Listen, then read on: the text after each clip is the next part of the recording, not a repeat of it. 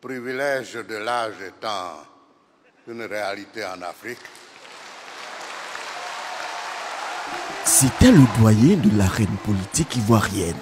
Le poids de l'âge l'avait contraint, le 8 février dernier, à prononcer son discours assis lors de la cérémonie de remise du prix Félix Houphouët-Boigny pour la recherche de la paix. L'on était loin d'imaginer que six mois après, Henri Conan Bédier quitterait à jamais la terre des hommes.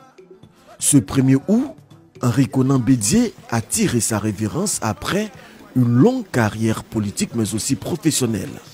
L'indépendance acquise le 7 août 1960, le nouveau diplomate est nommé ambassadeur aux États-Unis et ouvre la première représentation diplomatique de Côte d'Ivoire à Washington.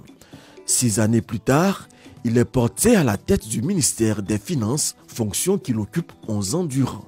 Sorti du gouvernement, il rebondit à la Banque mondiale à Washington, d'où il gère les investissements privés en Afrique pour la Société financière internationale. Il revient dans le champ politique ivoirien trois ans plus tard en tant que président de l'Assemblée nationale en 1980. En 1993, Henri Conan Bédier succède à Félix Houphouët-Boigny à la suite du décès de ce dernier. Il est président de la République jusqu'au coup d'État de 1999. Le Sphinx de Daokro revient au devant de la scène politique après la victoire du RHDP à la faveur de la présidentielle de 2010 aux côtés du président Alassane Ouattara.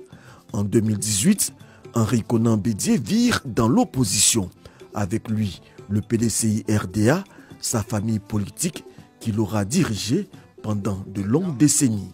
Il quitte l'arène politique avec un vœu pour la Côte d'Ivoire.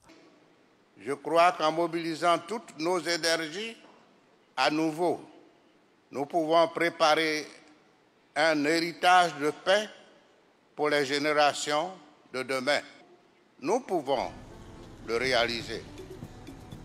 Je vous remercie de votre aimable attention. Si le PDCI RDA perd son chef, le président Alassane Ouattara perd celui qu'il appelait affectueusement mon aîné.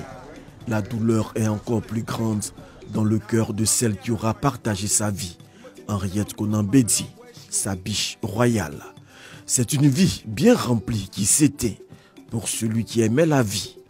Adieu, aimé Henri Conan Bédier. La Côte d'Ivoire à l'unisson lève les mains en l'air pour te dire adieu.